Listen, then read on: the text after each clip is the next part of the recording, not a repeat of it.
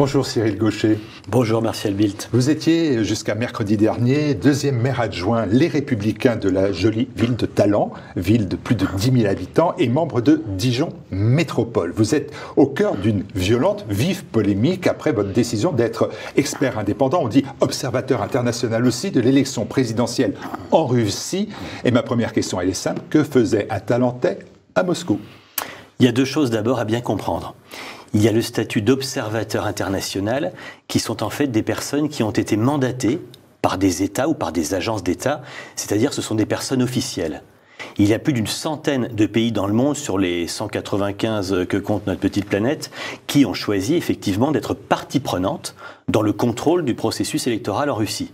Et donc ces pays-là avait nommé des officiels qui étaient des observateurs internationaux. Dans ma délégation, j'avais par exemple des diplomates, j'avais un ambassadeur du Congo, nous avions des parlementaires, nous avions des personnes qui en Inde notamment, ou dans les pays arabes, avaient des responsabilités officielles et qui représentaient leur État.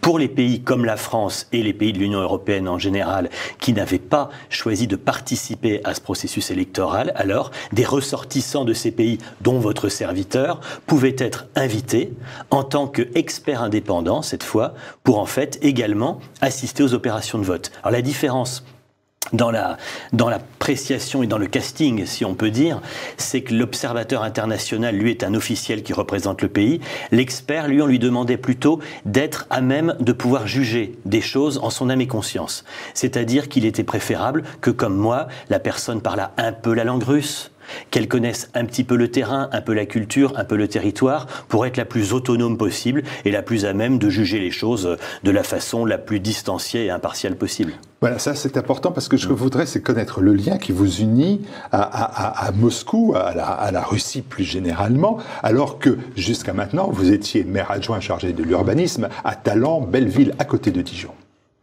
C'est un lien essentiellement finalement affectif. Maintenant, j'y vais depuis 2018. Alors cette décision euh, d'aller pour la première fois en Russie en 2018 était consécutive à la naissance de mon enfant, à peu près un an plus tôt, et il y a eu chez moi une réaction, une réflexion quand même sur l'avenir de ce qui était encore qu'un petit bébé, qui est maintenant une petite fille plus âgée déjà, et sur l'évolution de nos sociétés, l'évolution de l'Occident, l'évolution de nos valeurs, et je me projetais, comme bien des gens qui nous regardent le font, dans 20 ou 30 ans, en regardant l'évolution de la France de ces 20-30 dernières années et en me disant si l'évolution est la même, quel monde, quel pays vais-je lui laisser? Et cette question, a finalement généré en moi une idée, une sorte d'intuition. Je vais aller voir dans ce pays, ce grand pays si proche, plus grand pays du monde, plus grand pays d'Europe, plus grand pays chrétien du monde, comment les choses fonctionnent? Et arrivant en Russie, effectivement, j'ai découvert une société avec un peuple, pour faire simple, qui n'a pas renoncé. Alors, il y en a un qui a renoncé, c'est le maire, les Républicains euh, de Talent, votre ancien collègue et, ami Fabien Ruinet, qui vous a retiré vos délégations et votre poste de, maire adjoint. Le président, les Républicains de la Côte d'Or, a aussi réagi. Il s'agit de François-Xavier Dugour, Dugour, Dugour, on ne voudra pas, et a parlé de démarches inadmissibles et hallucinantes. vous saviez pertinemment que votre parti réagirait de la sorte, non? J'ai pas fait secret de mon départ en Russie. Monsieur le maire le savait, une partie de son entourage le savait bien évidemment, quelques autres élus le savaient et également des personnes au sein des services de ma ville en étaient tout à fait informées. D'ailleurs, si j'étais parti euh, en cachette, en secret, comme c'est parfois sous-entendu, est-ce que j'aurais accepté dès le premier jour de vote une interview sur France Inter? La question n'est pas là. Je n'ai rien fait d'illégal au regard du droit français. Et ma position n'était pas une position de soutien à un des quatre candidats à l'élection présidentielle russe. Il s'agissait simplement de venir effectuer un, contrôle, de venir être observateur des bureaux de vote qu'il m'a été donné d'observer. Et je dirais aussi, accessoirement, si on veut chercher quelque idéologie dans ma démarche, alors je peux leur accorder ça, oui c'est vrai, de faire une sorte de trait d'union de dire que dans un contexte aujourd'hui de tension, de risque de guerre, d'escalade des provocations de part et d'autre, eh bien que des Français aussi des Allemands, également des Belges, c'était le cas dans nos délégations, puissent venir en Russie, parler à ce peuple, parler à ces gens, parler à ces personnes qui, bénévolement, acceptent de tenir un bureau de vote, comme c'est le cas en France, qui est ce trait d'union, ce regard, ces mots, ça m'a paru important. Ce trait d'union, vous pensez qu'il est gaulliste? C'est le terme comédie. Moi, je suis gaulliste, donc. Euh, c'est effectivement la, c'est la continuation de ce qu'avait dit le général de Gaulle. Alors, il y, a, eu beaucoup de choses entre le général de Gaulle et la Russie. Ça a d'ailleurs souvent bien déplu à Washington à une certaine époque. Hein. Au plus dur des années 60, ça avait suscité quelques, parfois quelques remous. Le général disait entre autres, je crois, que quand les relations, la France va bien, quand les relations avec la Russie sont bonnes, quand les, quand les relations entre la France et la Russie sont dégradées, alors la France ne va pas bien.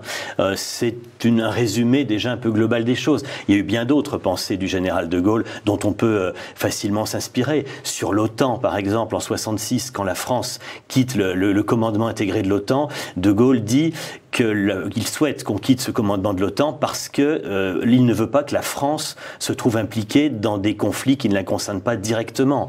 Là encore, on voit vraiment les choses. Il y a aussi cette pensée, pardonnez-moi, je ne vais pas faire un florilège de Gaulle, mais puisque vous évoquez le général de Gaulle, et ça effectivement fait vibrer cette fibre en moi euh, de façon évidente, il y a aussi cette, cette pensée qui était, euh, qui était permanente chez de Gaulle de penser la place de la France par rapport à la, rapport à la Russie, d'avoir cette indépendance. Nous avions par exemple des accords techniques. On est sur un plateau de télévision ici. La télévision SECAM, qui est un brevet français, a été développée sur la base d'un brevet franco-soviétique entre un échange, avec un échange de technologies dès l'époque.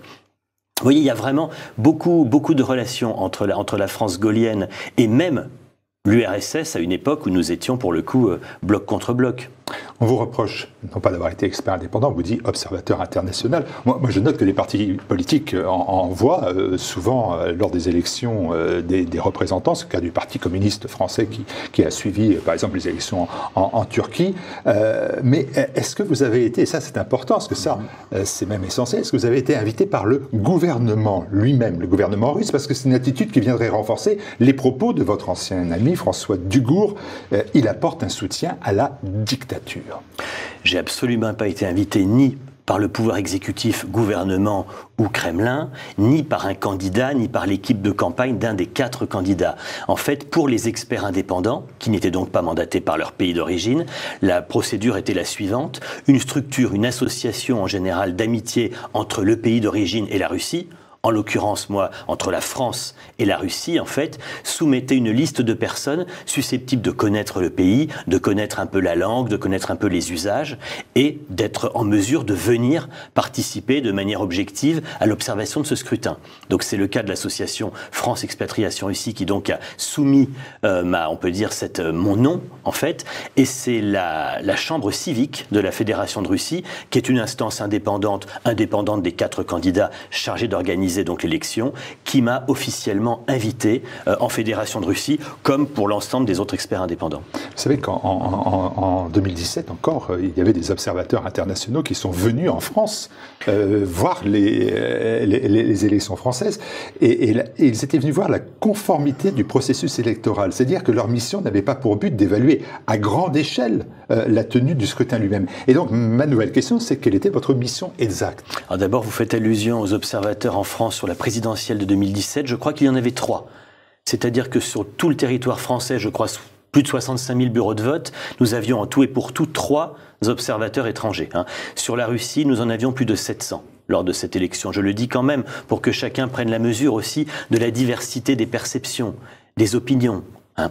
Cette mission dont vous me le demandez était en fait très délimitée. Elle avait un périmètre très restreint finalement. Il s'agissait pendant les trois jours de scrutin donc de, de venir dans les bureaux de vote de rencontrer les responsables de ces bureaux de vote, d'échanger avec eux sur notamment les chiffres de la participation, sur le fonctionnement des choses, d'échanger également avec des personnes à l'extérieur du bureau de vote qui venaient faire leur devoir civique, voir dans quel état d'esprit les choses se passaient, et puis évidemment de contrôler les moyens techniques, de regarder si les urnes par exemple étaient bien scellées, de contrôler le matériel informatique, de regarder comment les choses étaient disposées, voir s'il n'y avait pas également de climat de tension, de menaces, d'intimidation éventuelle de la part des gens euh, qui pourraient pourrait éventuellement euh, contrôler le choix euh, politique des électeurs, qui pourrait éventuellement, euh, par coercition, leur faire comprendre que tel ou tel choix s'imposait. Donc tout ceci, nous l'avons contrôlé. Et sur la vingtaine de bureaux que j'ai visités... Où ça? À Moscou? À Moscou. Moi, j'ai choisi Moscou. D'autres sont partis à Vladivostok, à Saint-Pétersbourg. Il y a eu des missions qui se sont rendues dans diverses villes hein, de tout le territoire russe.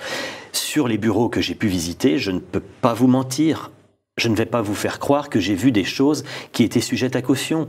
Tous les observateurs, tous les experts qui m'accompagnaient de ma délégation et toutes les autres personnes que nous avons vues après les autres délégations n'ont rien remarqué sur ces trois jours-là. Alors moi j'ai même poussé un petit peu le vice, si je puis dire, à prendre une liberté, mais que j'ai euh, dit après bien honnêtement sur la télévision russe après la fin des opérations. Dès le deuxième jour, quand l'occasion se présentait, qu'un bureau de vote soit sur notre passage alors qu'il n'était pas prévu dans notre liste de visites, puisque les délégations d'une dizaine de personnes se déplaçaient dans des petits minibus, des petits autobus, et donc avec un plan, évidemment, une liste de bureaux à visiter. Eh j'ai pris à plusieurs reprises la liberté de visiter des bureaux qui n'étaient pas prévus dans la liste, qui n'étaient pas dans notre programme, en disant au chauffeur, tiens, arrêtez-vous, attendez, on est là, on va aller voir ce bureau, je vois qu'il y en a un ici, on va en profiter.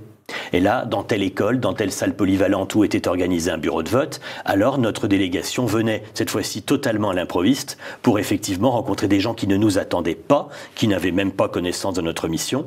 Et passer la surprise des premiers instants, eh ben, les gens nous recevaient et on constatait que le climat était strictement le même, qu'il n'y avait pas de menace particulière, que les gens se comportaient de la même façon, que les électeurs ne semblaient pas être sous le coup de la peur, de l'angoisse ou etc. Et que finalement, les choses se qui vous est fait, Monsieur Gaucher, c'est d'avoir vanté finalement le bon déroulement du scrutin sur la chaîne RT, Russia Today, à, Moscou. Euh, France 3, en France, parle d'une séquence vidéo lunaire. Qu'en est-il exactement? Je crois qu'il y a effectivement aujourd'hui en France une volonté de se chercher un ennemi commun.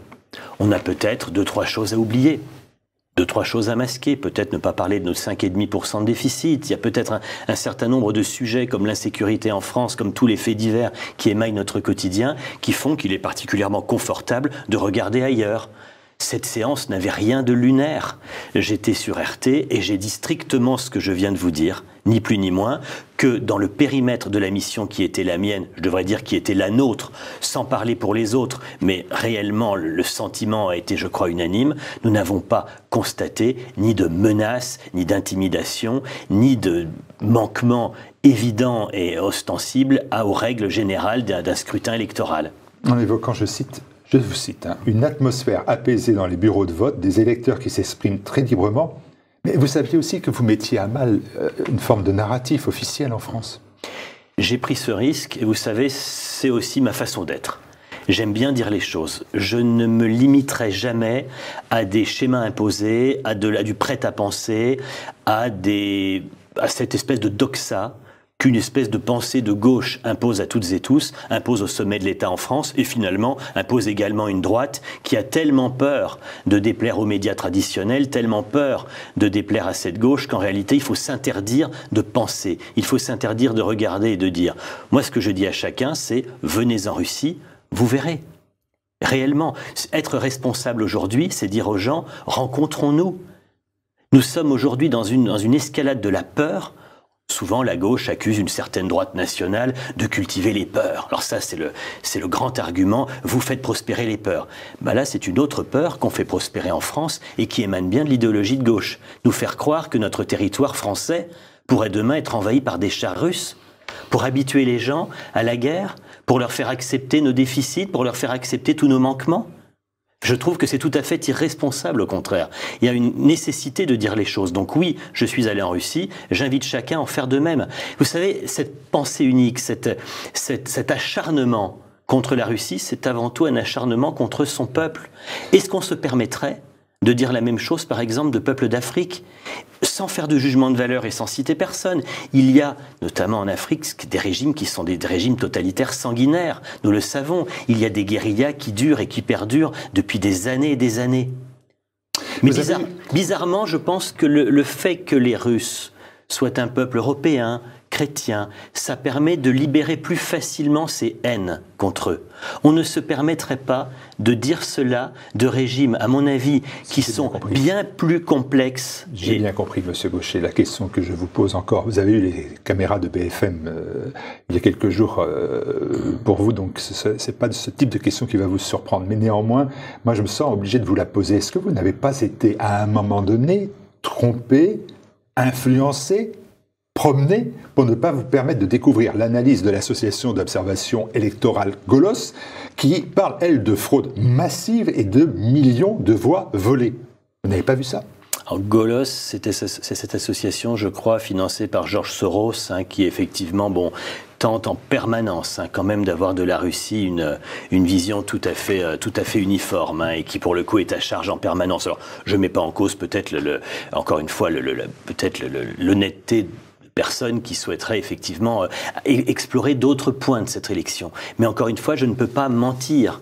Je ne vais pas, moi, aller sur des terrains que je n'ai pas pu voir. En tant qu'observateur, nous avons constaté que les élections dans les bureaux que nous avions visités ne n'étaient pas sujettes à caution. C'est une réalité. La mission que vous aviez n'était pas d'évaluer à grande échelle la tenue du scrutin lui-même. On est d'accord? C'était d'être présent dans les bureaux de vote pendant trois jours. Il y a effectivement d'autres éléments qui peuvent interroger. La participation, par exemple, était de 77%. Bon. Il semble que le pouvoir fédéral russe ait tout fait pour que la participation soit la plus importante possible. Le scrutin, vous le savez, est organisé pour la première fois sur trois jours, vendredi, samedi, dimanche.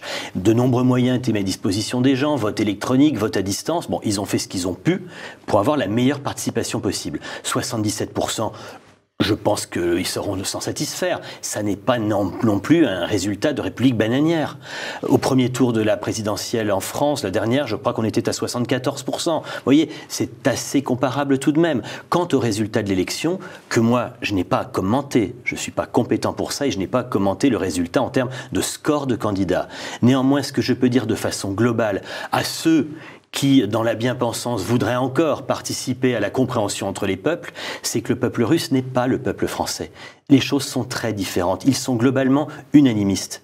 Il y a ce culte du leader qui reste ancré dans leur culture. C'est une réalité. C'est un peuple, je le dis à chaque fois, qui a subi le traumatisme des années Gorbatchev et Yeltsin, qui, de la fin de l'idéal communiste, finalement a connu la fin du rêve d'une vie meilleure dans les années 90, qui ont été des années de plomb, des années de vraiment d'inflation à trois chiffres. C'est un peuple qui a été traumatisé par ces années-là. Et quand, lors des 20 dernières années, globalement, ce sont les chiffres qui parlent, c'est du factuel, le pouvoir d'achat est revenu, la sécurité est revenue, l'état de droit est revenu, et que finalement ils ont retrouvé leur fierté nationale. C'est peut-être ce qui nous manque en Occident et c'est peut-être ce qui nous pose problème sur le plan idéologique. Ils ont retrouvé une fierté d'eux-mêmes, une fierté nationale, alors, de manière mécanique et peut-être de manière qui peut nous, nous sembler caricaturale, et je ne fais pas de jugement de valeur, ils vont derrière le leader, derrière le culte du chef, alors que nous, en France, nous fonctionnons tout à fait différemment. Nous aimons le débat vraiment démocratique, nous aimons l'échange d'idées, nous aimons la, la discussion sur la virgule, et nous plaçons à la tête de l'État des personnes qui, au premier tour, parfois n'ont fait que 20%. Vous voyez, la culture est tout à fait différente. Le fonctionnement n'est pas le même. Mais je pense que si on veut commencer à faire une liste des pays du monde qui ne rentrent pas strictement dans le cadre de nos critères de démocratie libérale occidentale, il y aura plus de la moitié des pays du monde au, banc des accusés. Alors qu'on fasse un tribunal géant, qu'on juge la moitié des pays du monde, il n'y aura pas grand monde qui sera invité aux Jeux Olympiques hein, si on applique les mêmes règles pour tous. Le site Dijon Actualité, je ne sais pas si vous le connaissez. C'est un blog local, oui, je crois. Il évoque la polémique. Il a cette phrase, alors sans parti pris, il dit Cyril Gaucher doit rendre des comptes. Alors avant l'échafaud, on parle quand même de votre exclusion du mouvement Les Républicains. Ça, c'est quelque chose qui, vulgairement, vous pend au nez. Oui, moi, je suis républicain depuis 2007 maintenant. Si j'y suis allé, si j'ai choisi d'aller et de rester aux républicains et de payer chaque année une cotisation et de participer à des réunions, c'est vraiment au titre de ma fidélité un peu globale à la mémoire du gaullisme. Cette filiation logique, les républicains, UMP, RPR, UDR, RPF, vraiment cette, cette tradition gaulliste qui pour moi vraiment est essentielle. Voilà. Si demain, les républicains veulent m'exclure, il me semble qu'on devra passer par les instances nationales, ayant encore un statut d'élu. Donc devant les instances nationales, s'il le faut, eh bien on parlera du gaullisme. Et si ça doit être le, le requiem pour un gaullisme défunt, bien ma foi, il faudra que tous nous l'assumions. Mais moi, je souhaite rester fidèle à cela, à cette parole du général, qui vraiment souhaitait, avec la Russie, une position d'équilibre. Est-ce que cet épisode, qui a eu pour vous des conséquences euh, eh bien, à la fois personnelles et professionnelles, vous pousse à, de nouveaux engagements, euh, d'ailleurs professionnels, mais aussi politiques? Vous savez, je suis croyant, et j'ai tendance à penser que rien n'est dû au hasard. Tout a toujours une cause. Ce qui m'arrive aujourd'hui est dur à vivre à titre personnel parce que j'étais donc adjoint à l'urbanisme, aux travaux, au réseau, et c'était une délégation qui me passionnait. pour le coup, c'est un domaine technique qui vraiment correspondait à mes compétences. Ça faisait six ans que je m'occupais de, cela au sein de la ville de Talent. Je travaillais avec des services qui sont des gens que j'appréciais beaucoup. Et d'ailleurs, bon, je sais que certains ont été très chagrinés de mon départ. J'ai eu des témoignages qui m'ont beaucoup touché. Bon, ça, c'est un fait.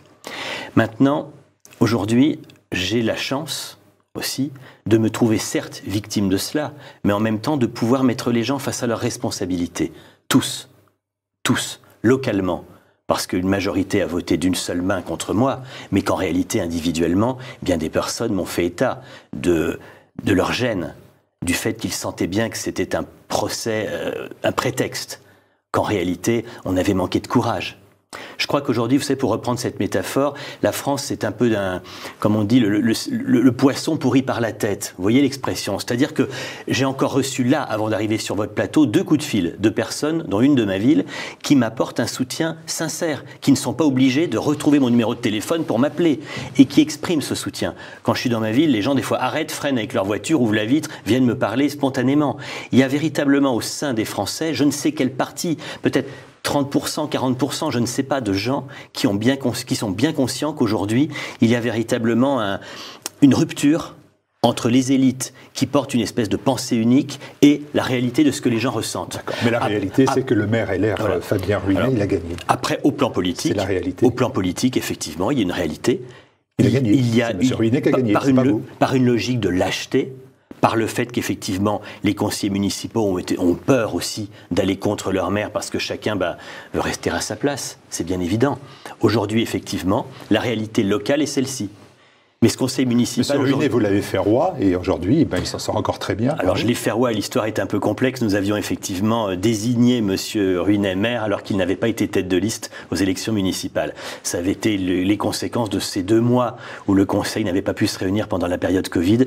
Et quand le conseil a pu se réunir pour désigner le maire deux mois après l'élection, c'est finalement Monsieur, Monsieur Ruinet qu'on avait désigné. Il vous doit un peu son élection, et vous, et vous lui devez votre élection. Oui, on, a, on, oui on a pris, j'ai pris le risque, effectivement, et j'étais pas le seul au sein de la majorité, d'affronter euh, les reproches de ceux qui nous ont dit qu'on avait fait quelque chose d'immoral, que nous avions élu désigné, choisi dans ce conseil municipal un maire qui n'avait pas été élu, alors que euh, effectivement un autre candidat devait être désigné maire. Bon, c'est vrai. Lui aujourd'hui, alors que c'est même pas une difficulté, alors que deux, trois personnes peut-être ont dû lui manifester une vague émotion par rapport à mon départ à Moscou, lui choisit de m'abandonner en pleine nature chronique de petites lâchetés habituelles. Je dirais, c'est un peu malheureusement euh, le, lot commun aujourd'hui des politiques. Quand je parlais de ce, de ce poisson qui pourrit par la tête, c'est un peu cela. Aujourd'hui, les élus et les médias de mainstream, bien souvent, ne sont plus à l'image de ce que ressentent les gens.